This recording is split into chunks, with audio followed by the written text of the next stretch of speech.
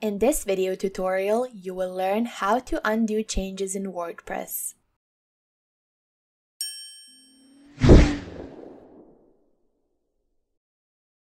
WordPress has a built-in feature that allows you to undo changes and go back to a previous version of a post when you make changes that are saved when publishing a post. In your WordPress dashboard, go to Posts and click on All Posts. Open the post you want to edit.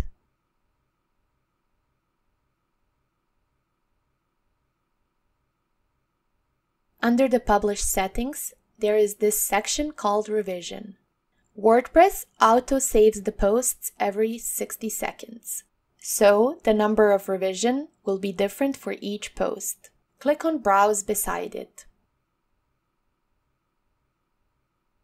Here you can restore your post to what it was before by dragging the slider like this. And then just click on the Restore this autosave to apply the changes.